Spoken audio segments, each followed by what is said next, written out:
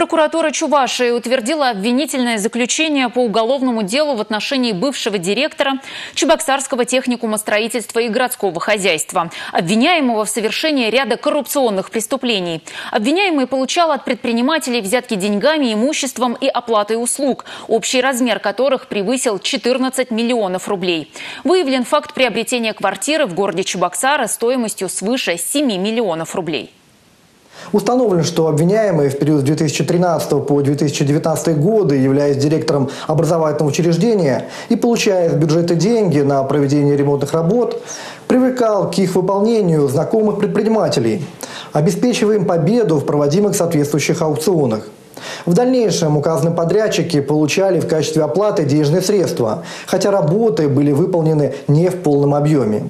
Оставшуюся часть работы фактически выполняли сотрудники и студенты техникума. Всего органами следствия злоумышленнику предъявлено обвинение в совершении 30 коррупционных преступлений, в том числе легализации незаконно полученных денежных средств.